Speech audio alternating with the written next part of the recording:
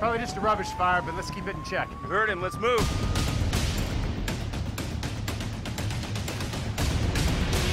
Severide, rescue squad. We can't hear you out here.